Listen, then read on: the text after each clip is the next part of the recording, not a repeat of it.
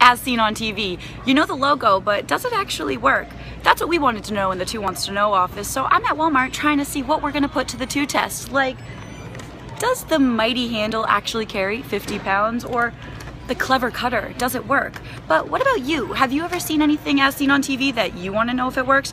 Let us know and we'll put it to the two test.